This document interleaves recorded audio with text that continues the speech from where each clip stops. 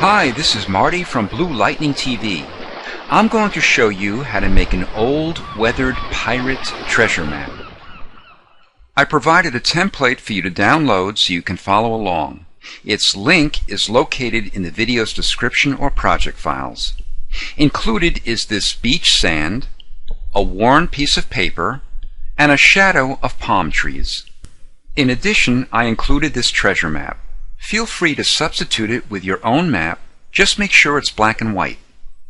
This document is 1280 by 720 pixels with a resolution of 150 pixels per inch. Make the sand layer active and click on the New Layer button to make a new layer above it. Click on the foreground color and type in F3D39B. Then click OK. Invert the colors by clicking on this curved double arrow or by pressing X on your keyboard. Click on the foreground color and this time type in BB8D3E. Go to Filter, Render, and Clouds. Go back to Filter and Filter Gallery.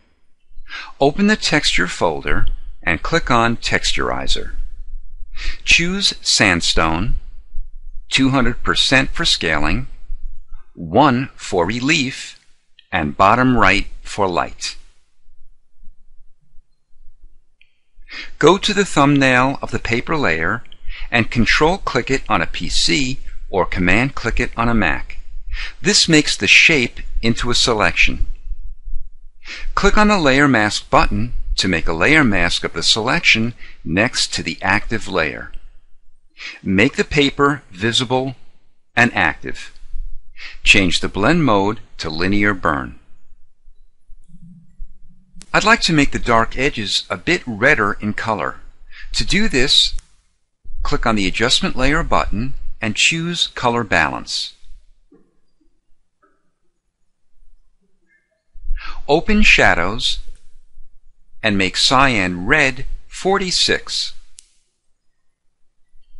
Click the Clip to Layer icon, which restricts the adjustment layer to effect only the paper layer and no other layers below it.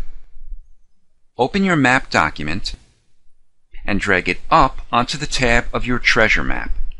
Without releasing your cursor, drag it down onto the image and then release. Go to the layer mask and press and hold Alt on a PC or Option on a Mac as you drag a copy of the layer mask next to the map. Click off the chain link to unlink the layer mask with the map. Doing this allows us to resize and or move either the map or the layer mask independently from the other. Click on the map to make it active and change its blend mode to color burn. Open your transform tool by pressing Ctrl or Command T. Click inside the transform to reposition the map. To resize it, go to a corner and when you see a straight double arrow, press and hold Shift and Alt on a PC or Shift and Option on a Mac and drag it in or out. When it's sized and positioned to your liking, press Enter or Return.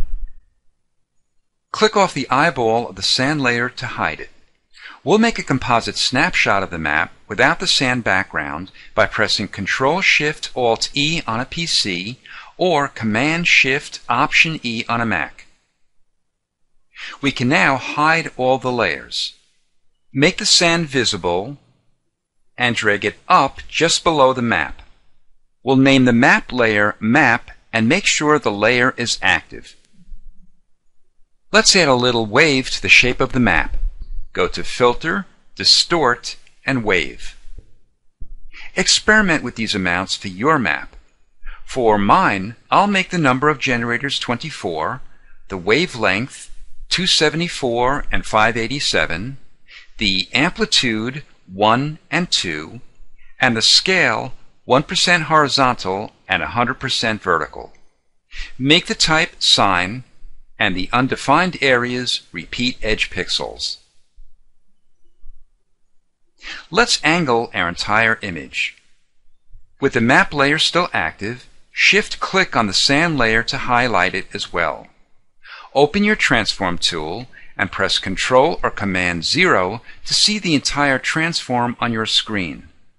Go to a corner and press Shift and Alt or Shift and Option as you drag it in a bit to reduce its size. Go to Edit, Transform, and Perspective. Go to a bottom corner and drag out. Position it so it's centered in your window. Then press Enter or Return. Now fit it back onto your screen. Let's add a subtle shadow under the map. Click on the thumbnail of the sand to make the layer active. Make the foreground and background colors default to black and white. To do this, click on the black and white boxes or press D on your keyboard. Open your brush tool and choose a size of 20 pixels with a hardness of 0. Change the blend mode to linear burn and make the opacity 30%. Now brush across the bottom of the map. Make the map active and reduce its opacity to 80%. I'd like to brighten the entire image overall. Click on the adjustment layer and choose Levels. Slide the input white to the point where the histogram starts to show a huge jump.